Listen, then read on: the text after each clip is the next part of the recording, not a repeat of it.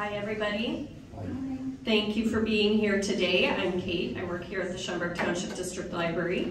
Um, if you have not already, please silence your cell phones. And if you need the restroom, it's out any of these doors to your left along the back wall of the library. Um, today, we are hosting the Hoffman Estates Village Board of Trustees Candidate Forum. Um, and we're very proud to be hosting that here at the library. It is our goal to give you information all the time um, so that you can participate in civic life.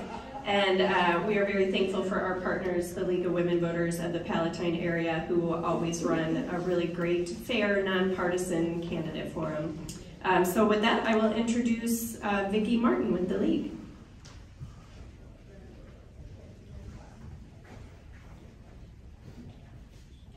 Thank you all for coming. Uh, Kate said, my name is Vicki Martin, and I am uh, one of the forum chairmen for the League of Women Voters. Um, the League of Women Voters of the Palatine area uh, includes Schaumburg and Palatine and several of the other communities which share contiguous borders and legislative districts. And before we begin our forum today, I'd like for all of us to take a moment and reflect on why we're actually here. Our elections are a key part of our democracy. It's what makes our country strong. And with that in mind, we would like those of you who are comfortable doing so to rise and join us in the Pledge of Allegiance.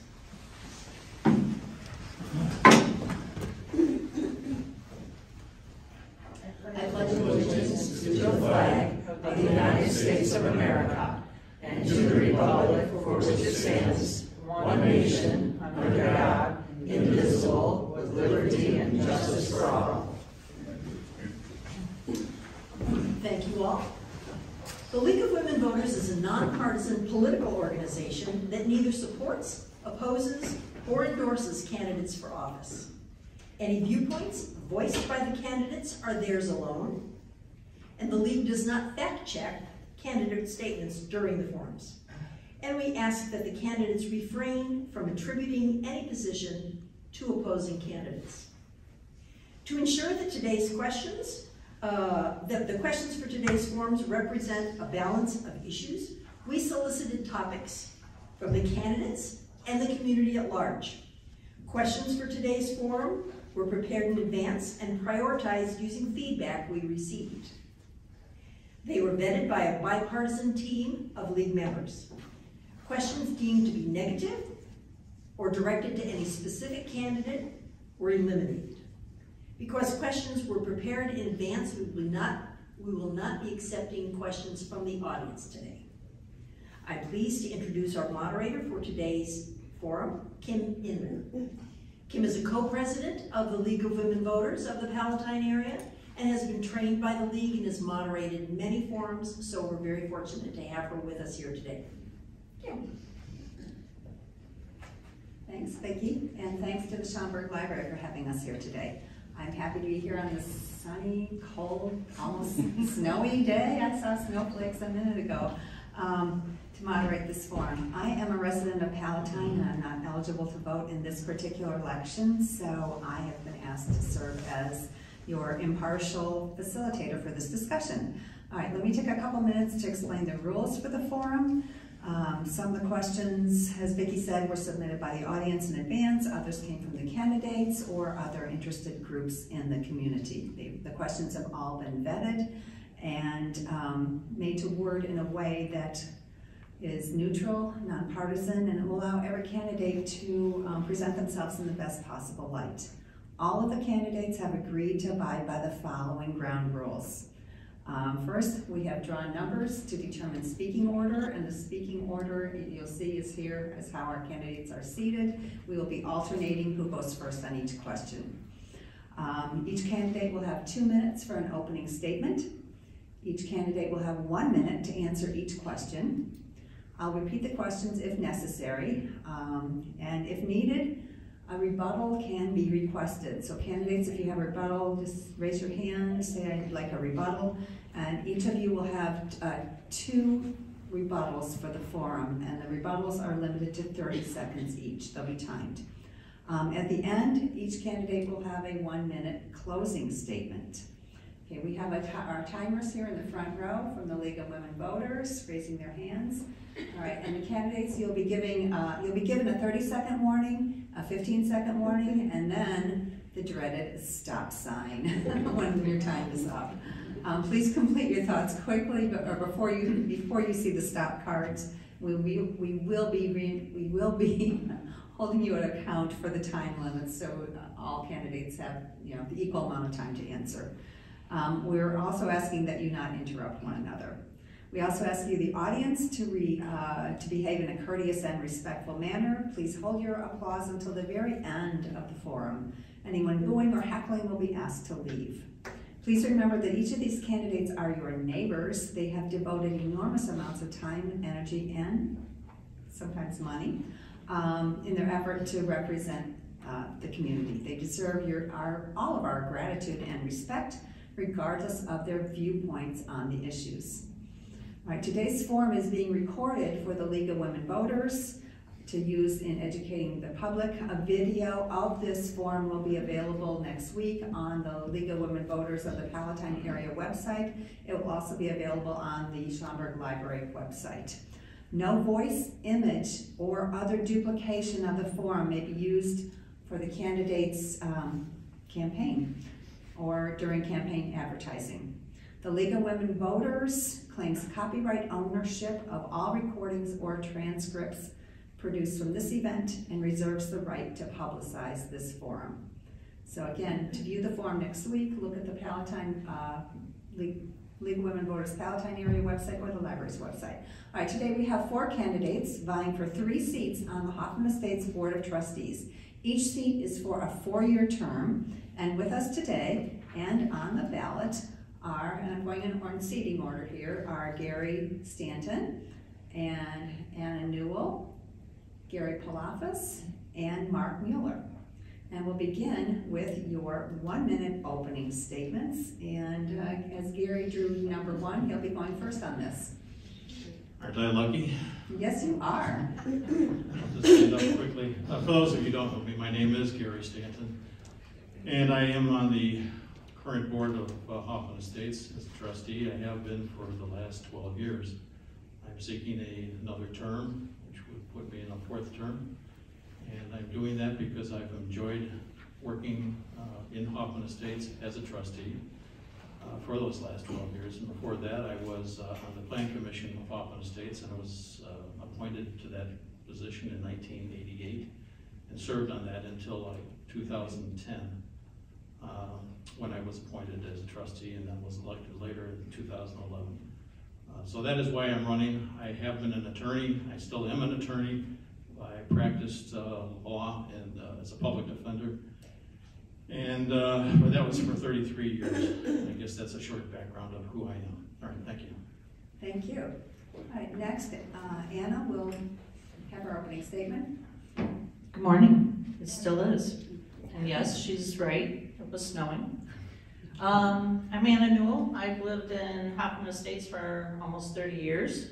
Um, some on the south end, and now I'm out on the west end of where all the corn and all the good stuff is out west. Um, nice place to live in Hoffman. I love the people. There's my answer. Why do I want to do this? Because I've done this before. I've done this for four terms, which is really technically sixteen years.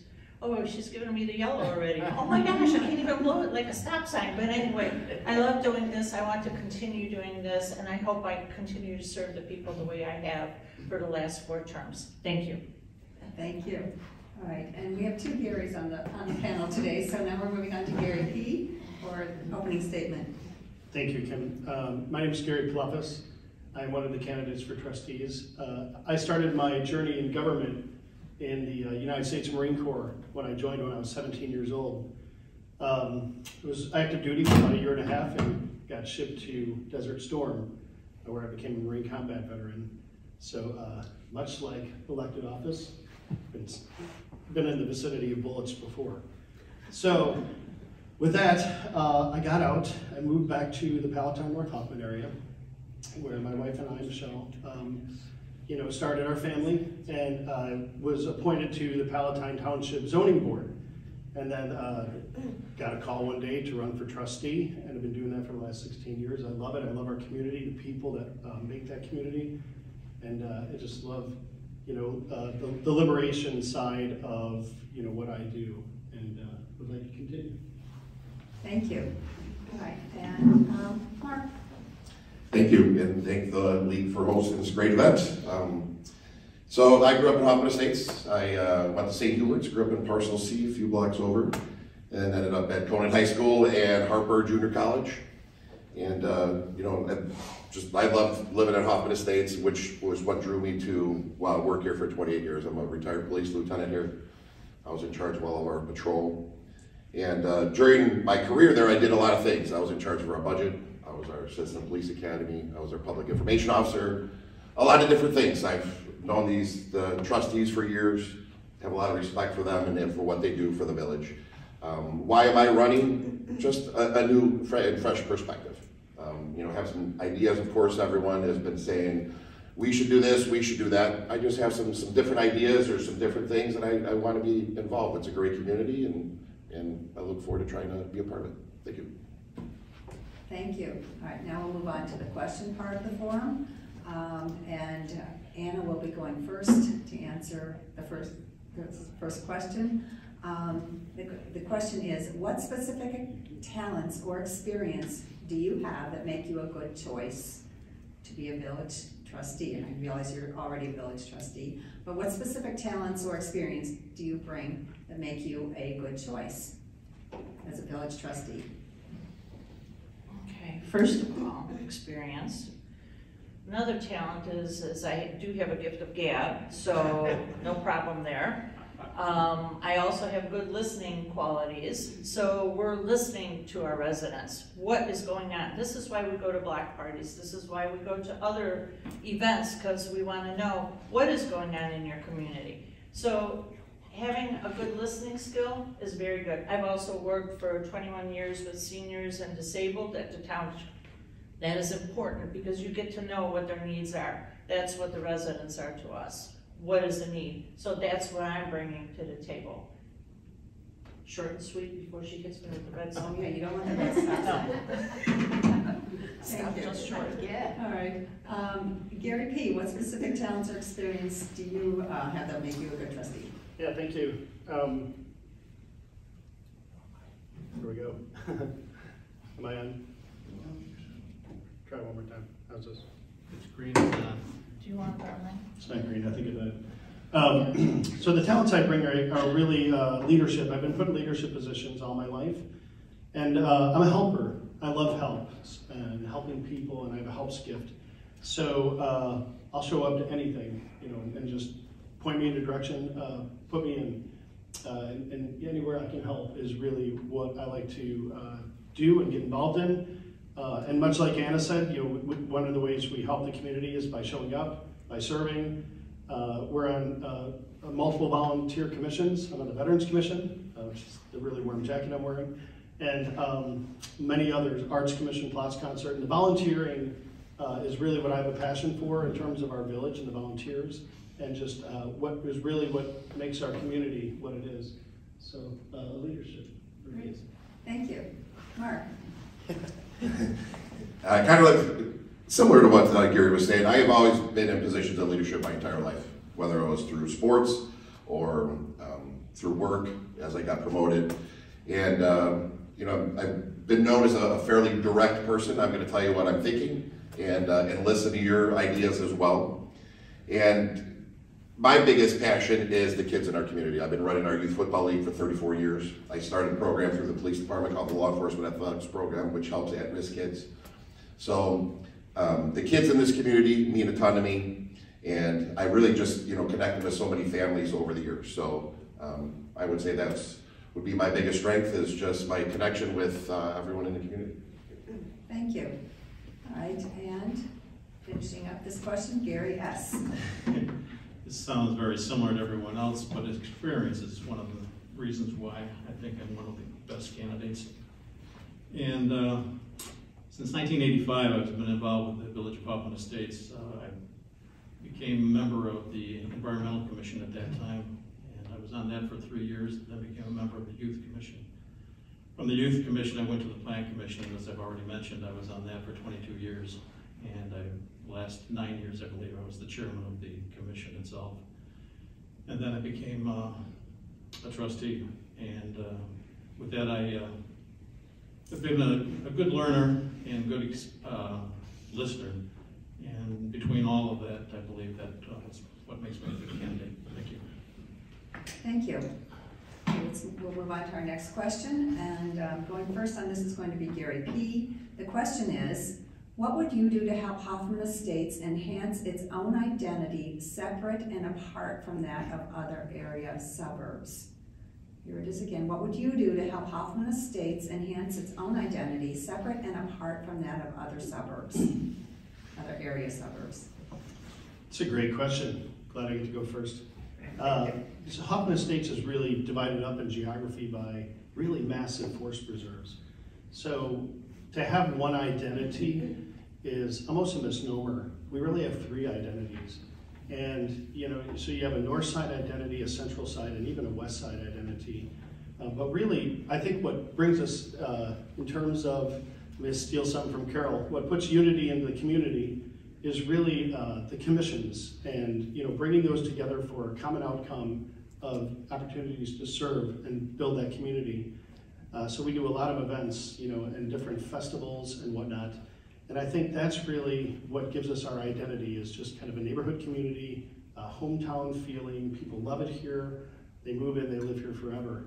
And I think that's really um, the best part of our identity. Thank you. Um, Next up is Mark. What, you know, that's a great question because a lot of people actually ask that, like, what is Hoffman Estates actually known for right now? I mean, what, you know, Schaumburg, you got Woodfield, the other communities who have something. We really don't have a downtown area, and that's nothing of anyone's fault, just geography, we don't have a downtown area. We have an arena right now that has so much potential of doing other things. It's, yeah, we do have a parade, once a year, Fourth of July parade. You have other communities that are doing, I just walked in the St. Patrick's Day Parade in um, Palatine. Communities, fest, um, that, if we're, if, if we are kind of landlocked of other stuff we can do, let's do those hometown things. Let's use the arena and have a huge Pride Fest during uh, Pride Week. Let's do other things like that that nobody else is doing, and I think we have the ability to do that. Thank you. Thank you. Uh, Next up is Gary S. I don't know if I can improve upon the answer that Gary Pilafas actually gave. Uh, we have three different parts of town. We have a north, we have a south, and we have a west. And all three of those have their own distinct, I guess, divisions or some, something about them. Uh, We do have the Now Arena, as Mark said, and that does act as a center for all three. Uh, We have uh, the Con- concert out there, we have the Fourth of July Fest out there, and uh, many other activities. Uh, We have the uh, tavern or bar or whatever, what do we call that? Uh, Beer garden. Beer garden, right, the hideaway. And uh, that also brings uh, out people to the, the village. And uh, now we have um, the location that is uh, out uh, north of us uh, that took over the, um, oops, I have to stop. I got the bill. All right, Anna, it's your turn to answer this one. Alrighty, not to be repetitive, and I'm gonna talk really quick. Um, so how do we enhance it? We're having things like, okay, as they had mentioned, the beer garden, and I will bring this up only because people as far as Chicago are noticing it. And we're on the map for Hoffman Estates, whether we're the north end or the south or the west end, each one of us. Now, if you wanna talk about the north end, we got the great bakery out there. Yes. Popeyes will be coming. Hmm.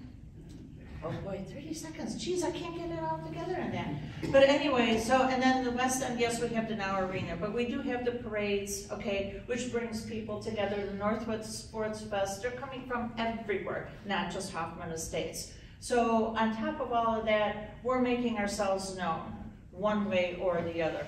I'm just gonna sit down before she waves me right thank you. Sorry. All right, that's, that's fine. All right, thank you so much for your answers there.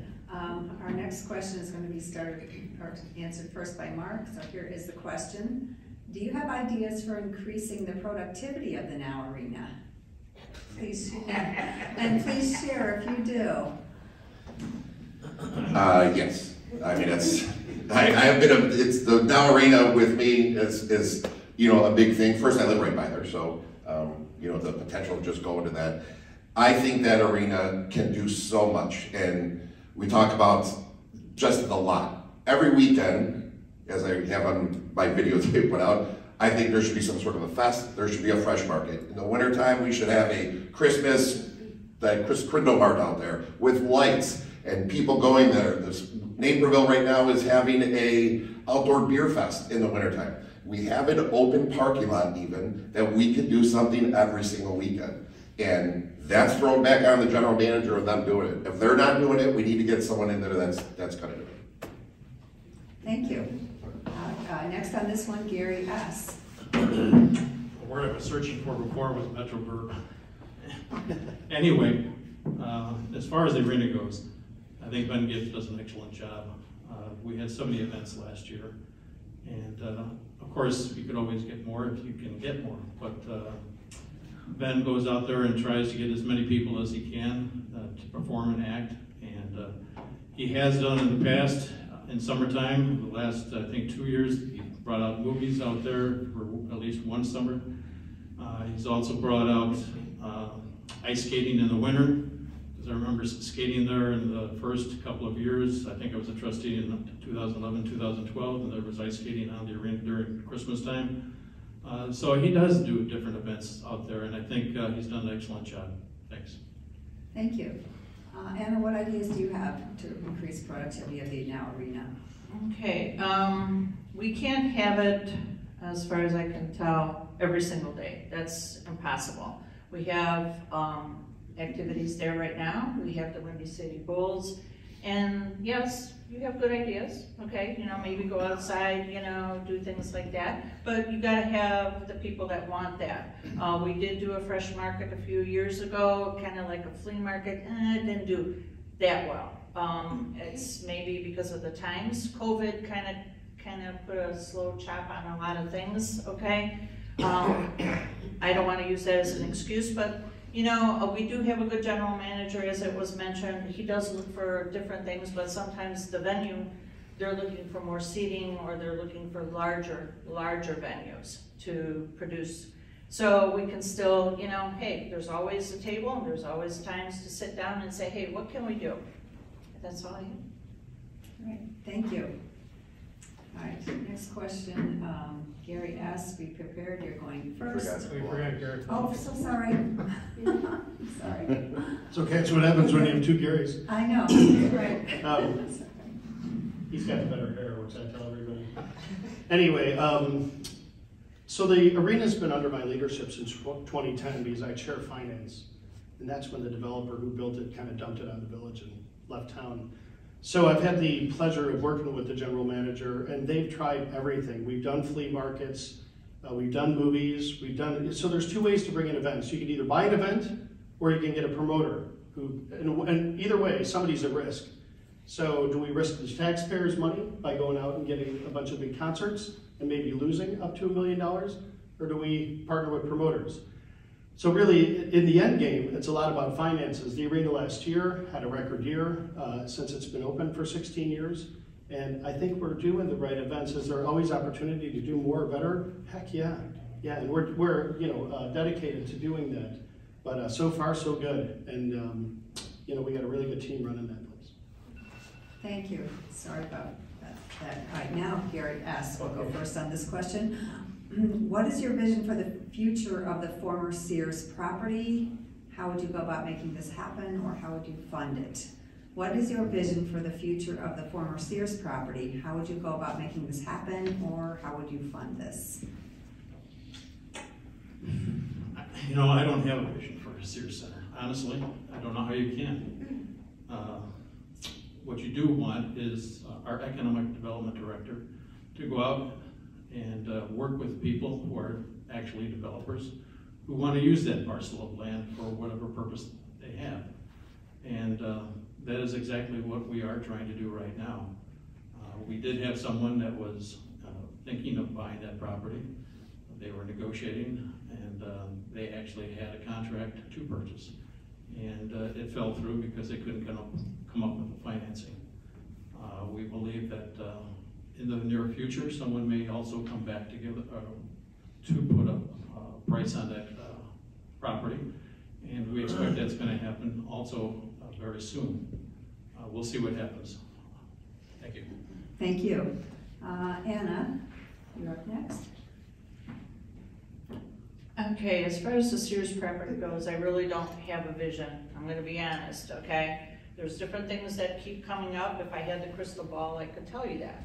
Uh, whatever is decided or brought forth and we're going to look at, we have to see that it's going to help our residents and our community. So that it's not something that's going to be a dinosaur that's gonna sit out there and look nice. Um, so that's all I can say for that. Um, that like Gary had mentioned, there were people that had come forth, but things didn't pan out. And as the ever-changing economy, as we've heard about Silicon Valley and these other places, whatever comes up, we have to make sure that this is going to go forward and be a good fit for Hoffman.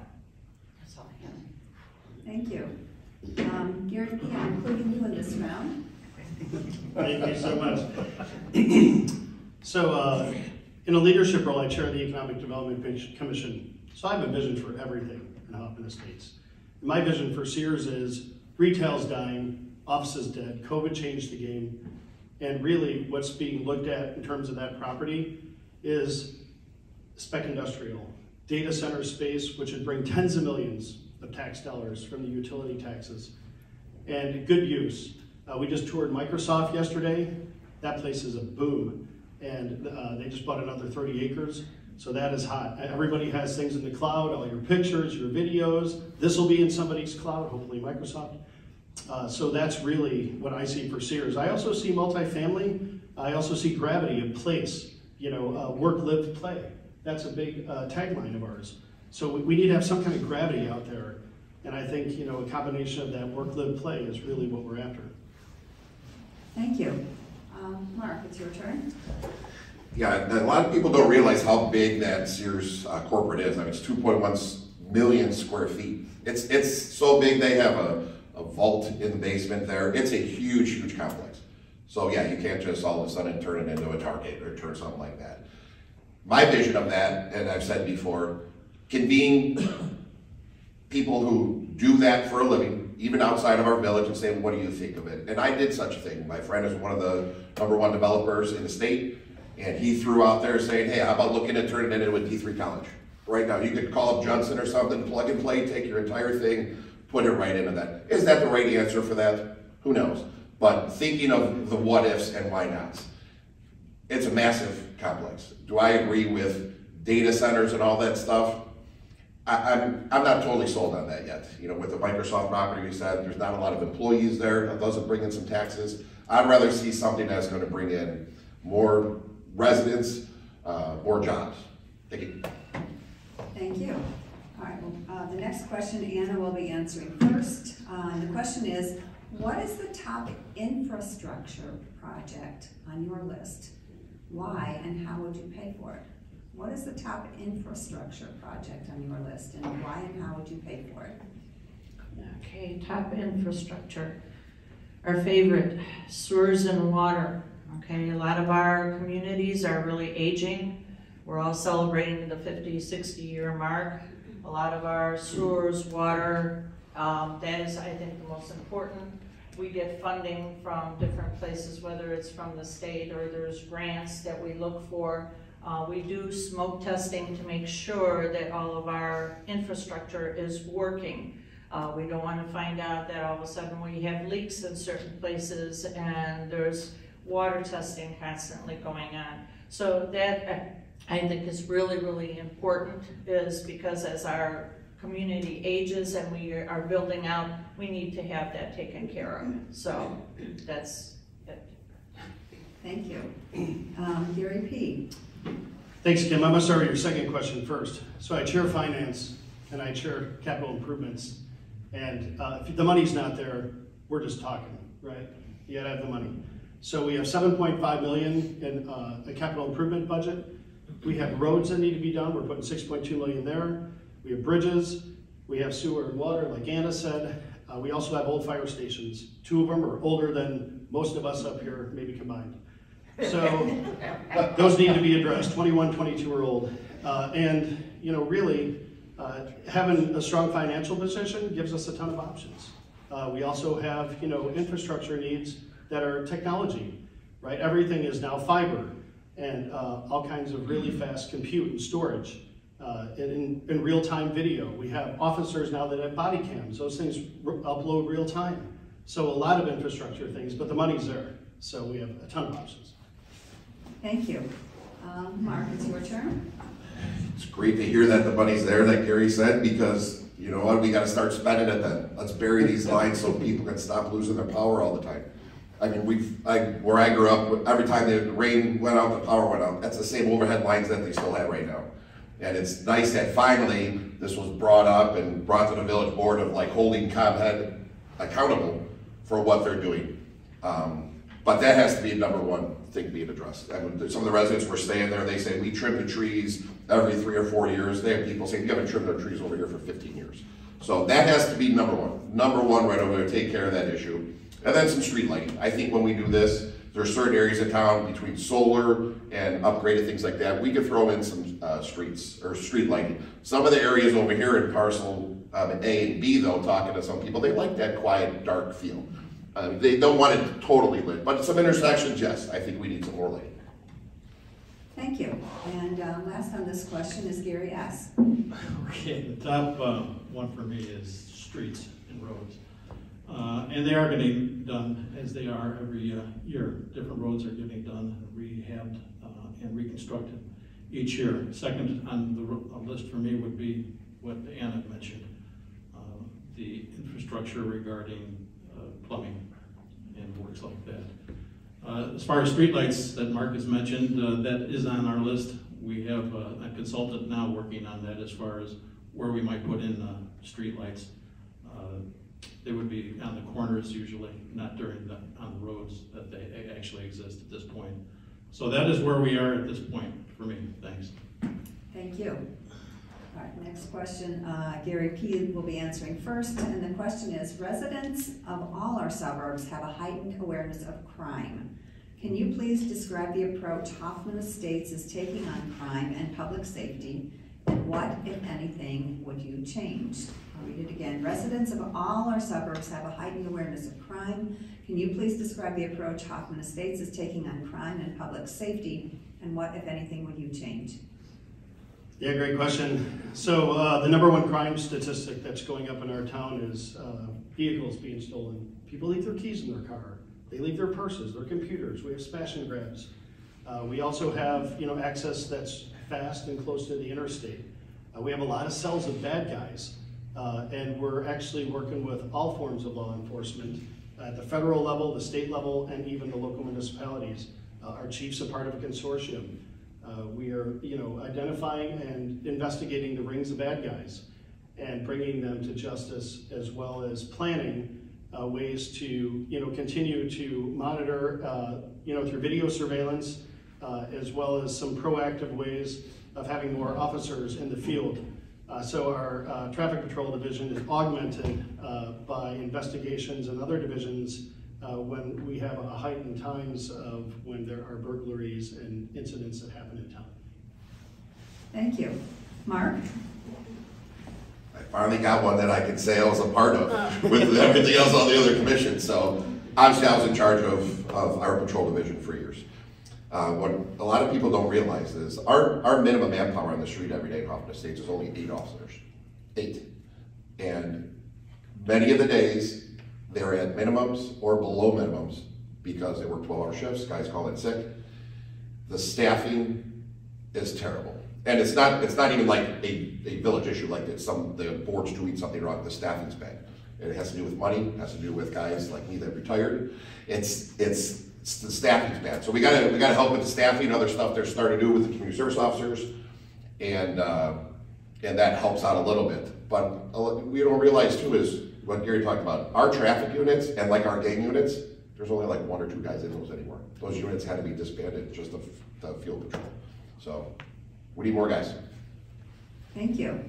Um, Gary S. You know, I really can't improve upon the answer that Gary Pilafas gave, or Mark for that matter. They know more about this than I do. And, uh, that- I'll leave it at that.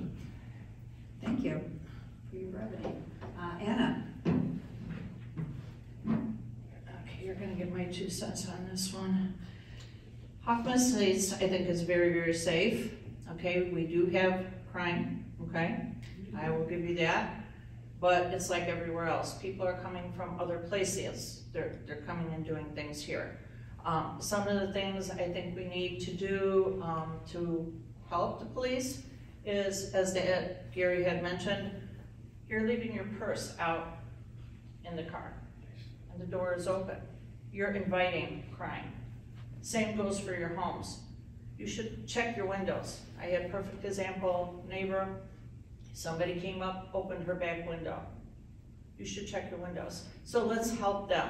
We're getting the office, the cams, which is going to be a big help. We also have neighborhood watch programs that we all, a lot of our neighborhoods sit down and we talk. The officers come out and tell us, hey, what's the crime in your area? What do we need to do to help them? Because he said, yes, there's only eight. Oops, I got it. You might, you might get more time on that thought in the next question, Um, and it's going to Mark first. The next question is, what, if anything, should Hoffman Estates be doing to strengthen the relationship between the police department and the residents? What, if anything, should Hoffman Estates be doing to strengthen the relationship between the police department and village residents? Two for two of questions. I'm on, I'm on a, I'm on a roll now. Um, the neighborhood watches are good. I mean, I was in charge of those, so neighborhood watches are good. Have to, to strengthen the, with the residents, it's literally communication and trust. We have a great police department. We have good supervisors. We have young officers who want to do a good job. Body cameras are great. That's just about accountability. Okay, having body cameras, accountability, that's fantastic. It really just gets back to the community trusting the officers that are here, seeing them out in public, um, the old way when you see them, and, uh, and those kind of relationships. Also, these officers getting involved in the community. Like I said, I started that law enforcement athletics program. I go to calls and officers or know the families because they're interacting with that. So it's, it's that old school family relationship that, uh, that's how you strengthen any, um, relationship with the police. Thank you. Gary S.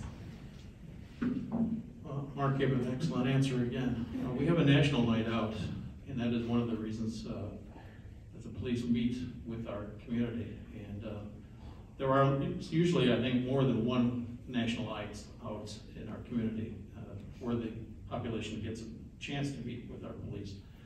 And uh, there's always other chances that they have uh, if they want to go to the police department themselves and uh, meet with the police officers.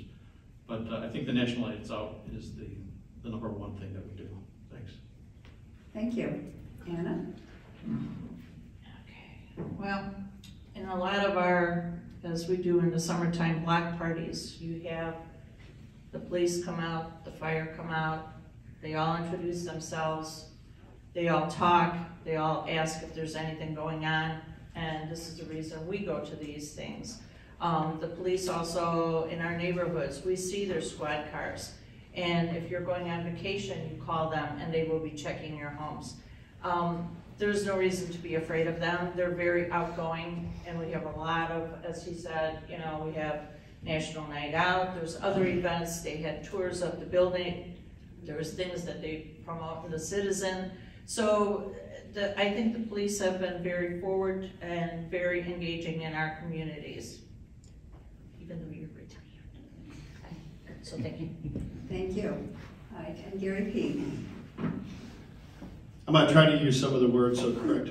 Um, we've been doing what's called beat meetings. And, uh, a beat is like a geography, right? So Uh, our police shows up, our chief with a bunch of police officers, and we met at a school, one out north, one out west, and one central. And the place was packed, standing room only. So there's two things I think people want, transparency and communication. And we have a Citizens Police Academy, we have a Fire Academy, uh, we do the beat meetings now. Uh, you know, we're creating a commission for people that hate the police and want to defund the police, and all the good things that, you know, Blue Line is doing. Uh, so I, I think there's a lot of goodness. I can't get it all in a minute, but uh, you know we have a lot of great ideas, and I think you know those transparency and community meetings are really what's uh, galvanizing us with the community and our police. Thank you. Okay, next question, and Gary S. will be starting this one. Um, What do you think Hoffman Estates should do, if anything, to make more affordable housing and/or senior housing available within its borders? What do you think Hoffman Estates should do, if anything, to make more affordable housing and/or senior housing available within its borders? We have a lot of senior housing right now in Hoffman Estates. And uh, as far as affordable housing, I'm not sure that we have a need in our village for that. Uh, Currently, the people that are coming in front of us uh, are not affordable housing people. Uh, They want to charge prices uh, anywhere from seventeen hundred dollars for a uh, one bedroom and above for their housing. Um, The current housing that we have is older stock. And that stock, I guess, is what we would consider now affordable housing because they are of a lower rent uh, nature. So I would assume, and I, I would say at this point, uh, we have no need. Thanks. Thank you. Um, Anna, you're next. Okay. Affordable housing. When you say affordable housing, and you're looking at somebody who gets, say, seventeen hundred dollars a month, and the rent is 1,100. where do you go from there? What are you actually living at? So when they say affordable housing, I think some of the things, and I don't know if this would happen, there'd have to be some investigating and checking at a lot of pages. And the thing being is that maybe some of these buildings that are getting empty, is there any way to turn them into shelters for those that are homeless? Or to turn them into housing where somebody can afford and not be living on just six hundred dollars and then having to go to the food pantry because after they pay all their utilities and everything else, they can't make it. And she's gonna hit me with the stop sign, so there you go, it's a long conversation, sorry. Thank you. Uh, Gary P. So I'm going to continue off of what Anna said, and I'm going to hit the uh, special needs area. So we have great high schools and elementary schools that do a lot with education and integration. And we don't have anywhere for those young adults to live when they turn 22. They stay at home with their aging parents until they die, and then it's an emergency, and the state has to place them. And maybe they're in Carbondale and not Hoffman Estates where the rest of their family is. That's an atrocity. And by the way, when it comes to non-disabled housing, we have more affordable housing than any 10 neighborhoods and suburbs around here combined, right? So I think really what our focus needs to be is to look at special needs housing. You know, we have GiGi's, uh, we have a, great uh, community of special needs people. I think the opportunity's out there, and we can do some private-public partnerships financially to really bring those two ideas together and uh, codify a, kind of a whole new generation of the work, play, live. Thank you. Uh, Mark. The village is halfway landlocked of what's actually available to build uh, new housing. And then you get certain areas like, I live out west, we're paying over thirteen thousand dollars a year to send kids to Elgin schools. You got people out there that are saying, well, you know, wow, so you're talking about taxes and stuff like that. I would rather reinvest our efforts into our, our um, condo complexes and stuff that we have here, We'll work with them, make them look better. Those are affordable housing right now. People live there, and we have that exactly like what Gary said. The, the new um, high-end rentals, um, that's not gonna go away, but that's not the answer either. So I would rather work with what we have right now, reinvest, help these either landlords or private um, owners and even our regular residents. We have a lot of houses in this town that need to be updated. We need to help those people that are falling on hard times and, and give them the help they need. Thank you. All right, and now we're moving on to our final question of the morning. Thought this would never come, right? Um, Anna will be starting this one, um, and maybe it's a shorter answer. Are you accepting any campaign funding from PACs, special interest groups, or political parties? And if so, which ones and why? Are you accepting any campaign funds from PACs, interest groups, or political parties? And if so, which ones and why? This is gonna be the quickest answer there was, and she won't even flag me. No, I don't. Okay, so it might be brief. Uh, Gary P.? Yeah, you know, I have a brother from another mother, his name's Paul, and he almost finances my campaign single-handedly. I love him dearly. He doesn't even live in the state, he lives up in Wisconsin. But uh, other than that, PACs, nothing, um, just family and friends. Yeah, the people that want me to keep doing this, that's it. Okay, thank you. Mark? I think with everyone for, for this campaign, this hasn't been a very high spending, um, output. You know, some, some mailers, Yeah. you know, me and Gary are out doing videos all over the town, stuff like that, that's cheap. But it's, um, yeah, for me, no, same thing, friends and family, and, and honestly, people are fairly stingy with wanting to give money. Look at your voter turnout. City of Chicago said thirty-two percent of people that went and voted for that first mayoral one. You know, hopefully, that's the whole thing now, is just telling people to get out and vote, especially our younger community. The young people, they don't vote, not that they don't care, they just, they don't vote. So, um, the answer is, yeah, pretty much just begging friends for some money to send out a mailer. Thank you. Uh, Gary S.? Uh, the answer is no, we don't have any PACs or any other. You didn't even stand up for that one, huh? No, I don't. think it's gonna happen. Sorry. All right, all right, thank you. All right, and now we move on to our closing statements. Each candidate will have one minute to answer, and it is uh, Gary P.'s turn to go first. And on the last one, first on the last. Yeah, thank you so much. I just want to thank you all for coming today. I want to thank you for the investment that you make in our community just by showing up. I want to thank the Women League of Voters for hosting Schaumburg Library and all your staff for giving us this space. Uh, I love this community. I'm passionate about it. I'm not going anywhere, win or lose.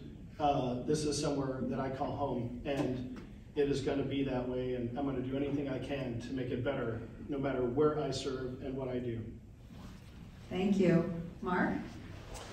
Uh, thank you guys for coming out and watching this, and everyone who's going to be watching at home. Um, I agree with what Gary says. I, you know, I love this community. That's why I you know, still live in town where other people are moving out of state. And there, I, I'm really, I looking just to give back now that I'm outside of um, police work, but still give back to this community.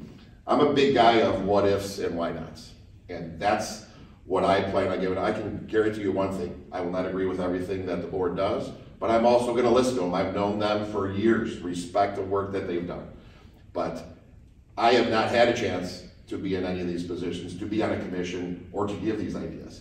So that's um, what I want to do, and I can I can promise you that I will work hard at it. Thank you.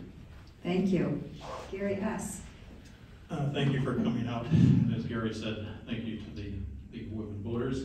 Thank you for Schaumburg Township and the library for having us here. And uh, as Gary said, he's not going anywhere, neither am I. I've been here for 44 years now, and uh, I plan on staying here for the rest of my life. Thank you. Anna? All right, I get to bring up the end here. Okay.